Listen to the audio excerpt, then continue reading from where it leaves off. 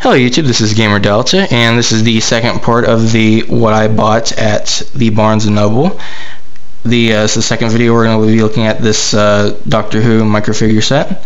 The first video I reviewed the Lego Minecraft Micro World set. Now we'll be looking at this one. For those of you who don't know who Doctor the Doctor Who character is, he's basically a time traveling alien.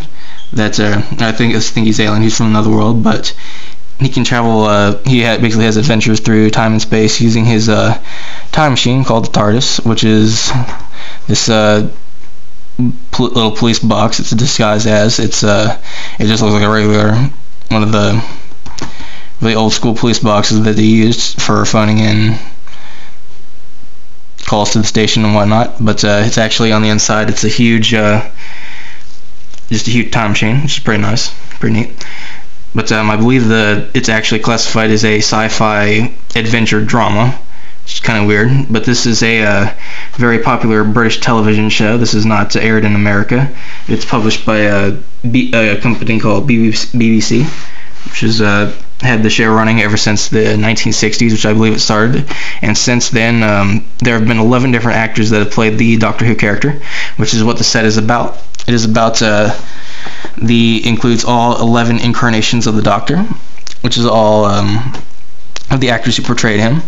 Basically, uh, the Doctor can, uh, I guess, when he's near death or dying or whatever, he can reincarnate himself into a different fa- a different person. Well, not a completely different person. The Doctor Who is the same character throughout. He just has uh, he still retains his memories and or at least some of his memories and his experiences and whatnot, but he just takes on a different form in a different person, sort of. But uh, yep, this uh, like um, this is basically from the uh, the character build set, which is basically one of the Lego knockoffs who have this property. It's still kind of nice, whatever. Not uh, not um, obviously not Lego or yeah, not Lego quality, but still fairly okay. And I also uh, opened one of the black blind the blah, the blind bags in a previous video where I got a little uh, white Dalek character. Anyway, let's open this up and actually see the figures themselves.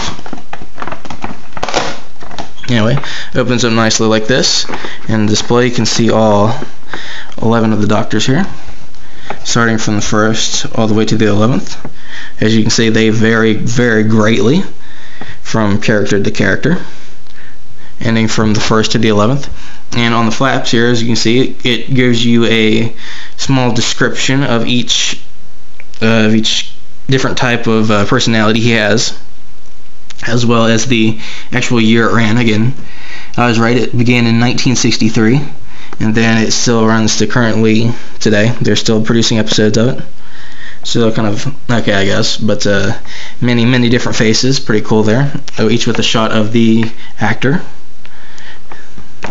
Very nice, but um, I'm actually going to open this up and uh, set up all 11 doctors because it does uh, include uh, their display bases as well, which is kind of nice in this box, as well as their uh, weapon of choice, sonic screwdriver in many different forms. But uh, yep, I'll see you in a second when I set this up.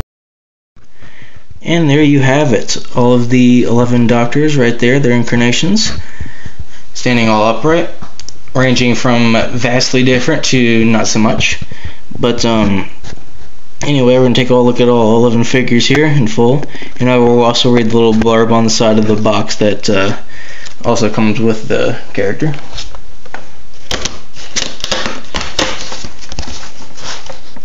Start off with the first doctor here sort of this uh, old looking guy. Oh yeah, they also have this uh, the same base, pretty much this the the DW Doctor Who with the TARDIS logo there. Kind of cool there. But anyway, here's the first ever Doctor. So kind of cool. Looks like an, he looks almost like a butler or sort of a. No, sure. Yeah, he kind of looks like a butler almost, which is kind of weird. But uh, he actually doesn't have a sonic screwdriver. I'm not sure what's up with that, but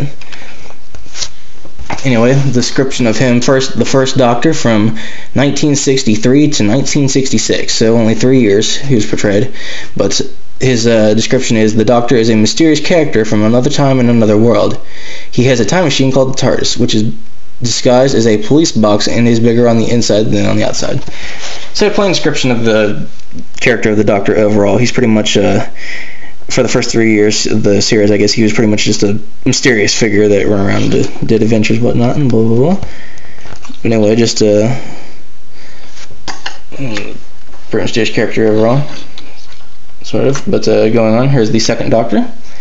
As you can see, there's not really too much other than the fact that uh, he pretty much looks like the uh, who would own the mansion of the of the uh, who pretty much owned the butler almost. He's just the he has the same black suit, but he's like more shortly dressed and he's a lot younger. He also has uh, well, I'd say the most most basic little piece of uh, metal almost you can imagine, but uh, again that was uh, 1960s. But he's the first one to actually use the sonic screwdriver, I'm guessing. But uh, his description, the second Doctor, ran from 1966 to 1969. So again, only three years. Is that true? I'm not sure. But um, here we go. The first Doctor regenerated whilst battling the Cybermen during the events of the 10th planet and eventually collapsed, exhausted. His body renewed itself and transformed into the Second Doctor. The Second Doctor's characteristics centered around his ability to mislead his enemies as to the actual threat he posed to their plans.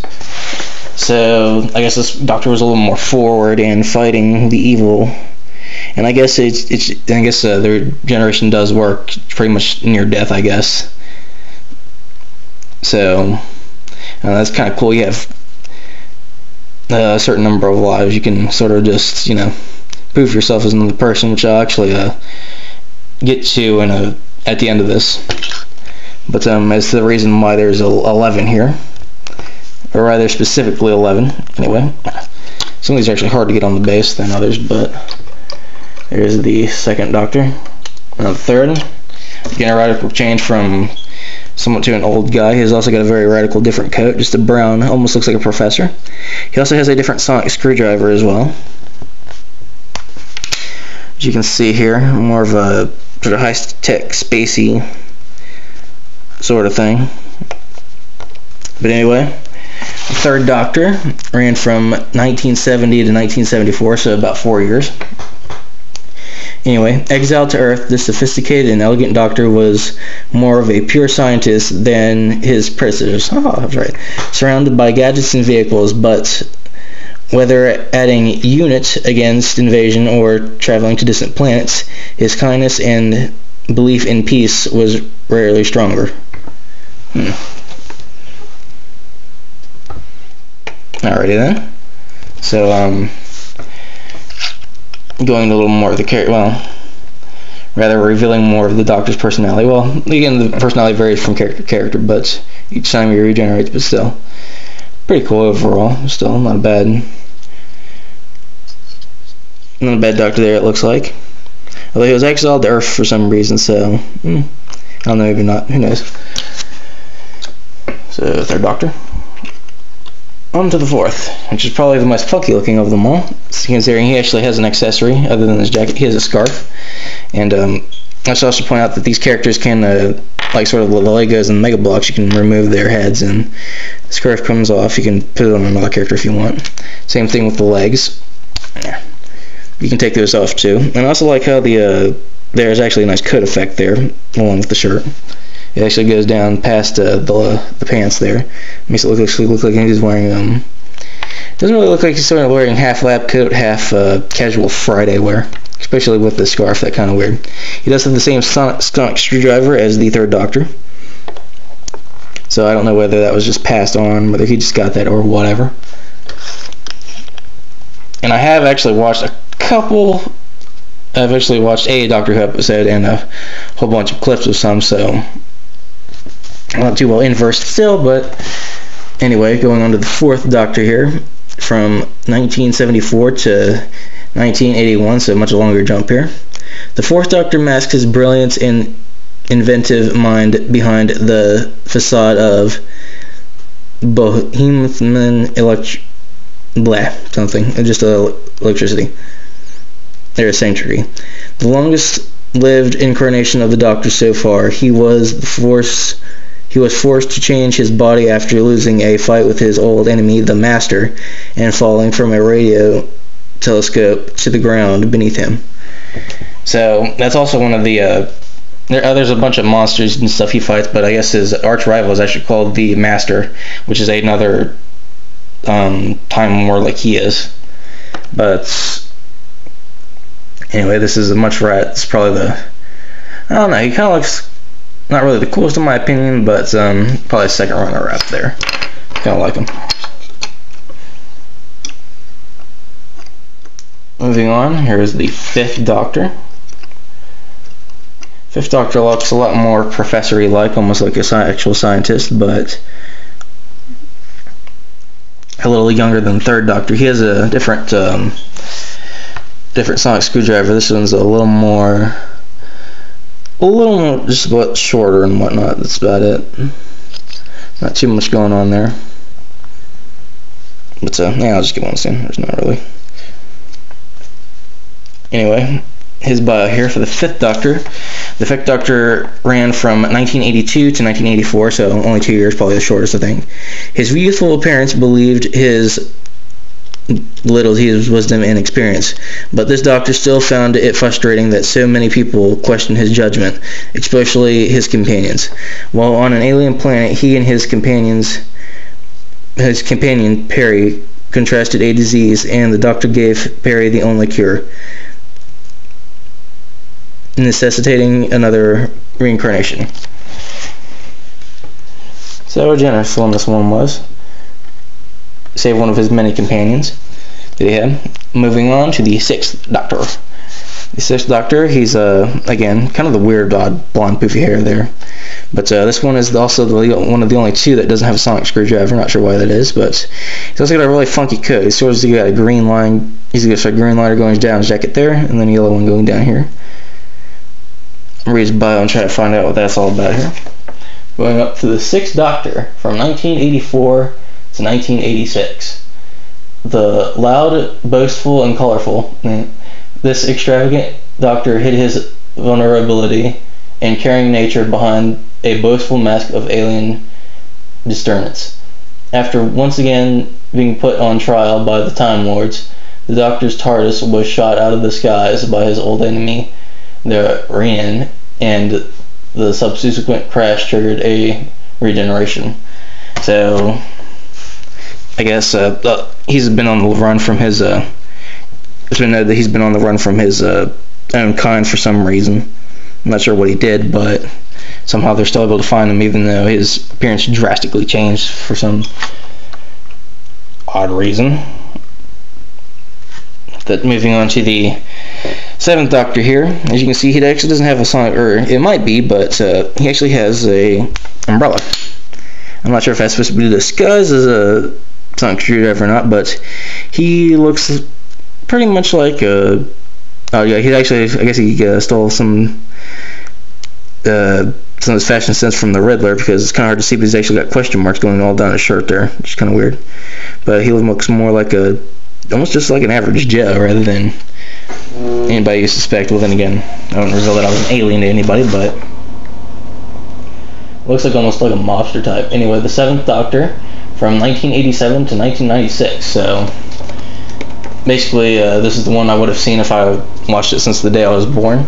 I would have saw this Doctor first, but uh, Mercurial and highly moral, highly moral. This Doctor would often disappear at the cruelty and wastefulness he encounters across the galaxies.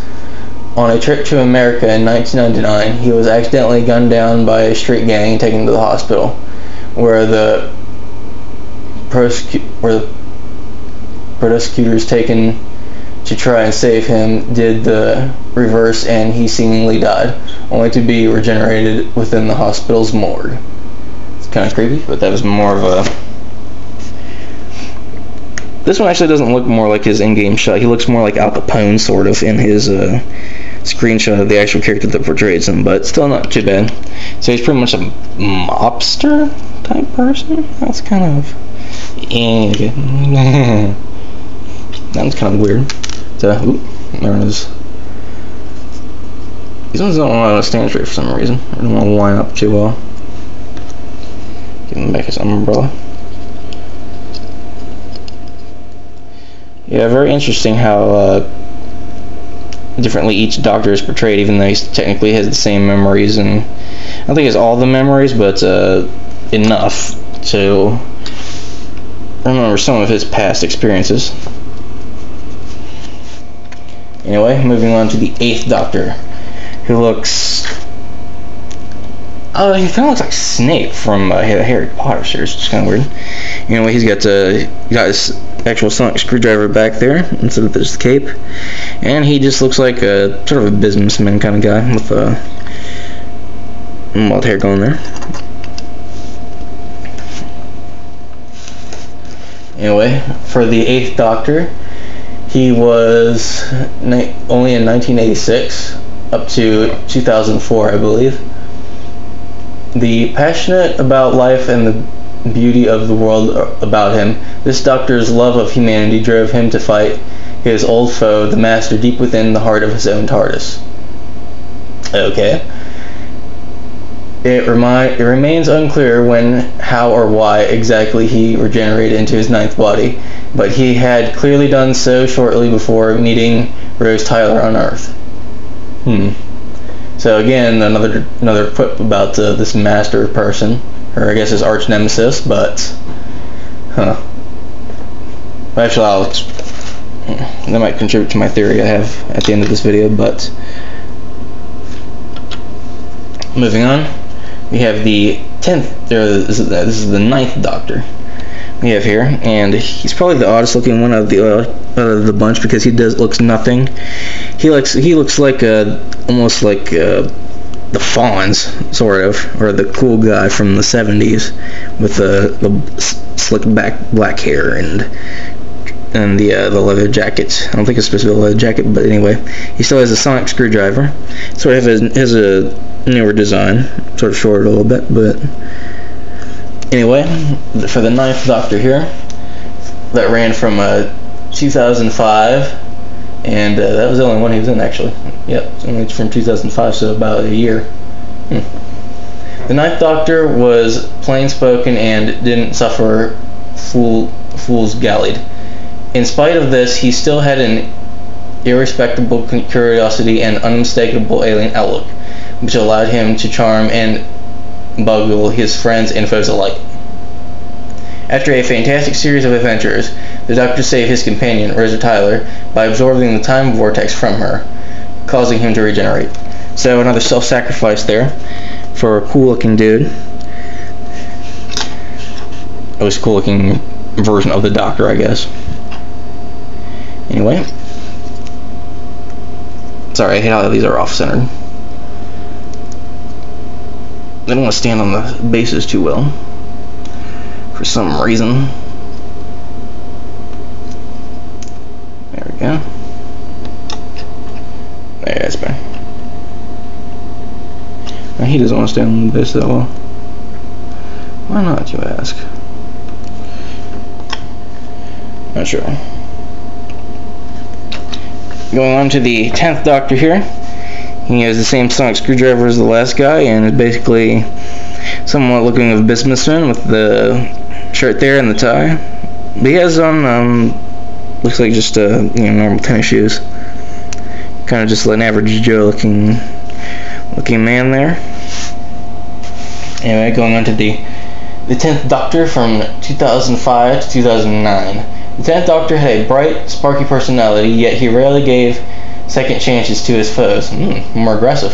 Following a cataclysmic encounter with his own people, mm, he gave his own life to save that of Wilfred Mott, absorbing radiation that would have proven fatal to his old friend. Again, another self-sacrifice. Huh. Sounds like he resonates from being a dick to being a to being a very peaceful person. Very odd flat. Kind of weird, but uh, he was able to stave off the regeneration process long enough to bid farewell to his past companions and reach safe the safety of the TARDIS, where the Doctor began to regenerate alone.